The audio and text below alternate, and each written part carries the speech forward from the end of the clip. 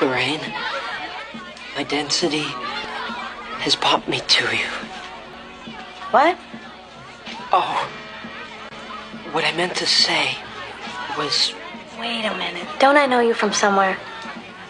yes, yes, I'm George, George McFly. I'm your density. I mean, your destiny.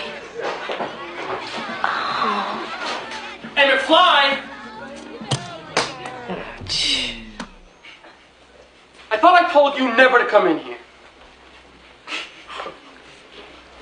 Well, it's gonna cost you. How much money you got on you? Well, how much you want, Biff?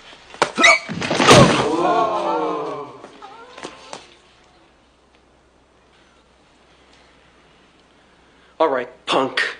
Now I'm Whoa, gonna. whoa, Biff. What's that?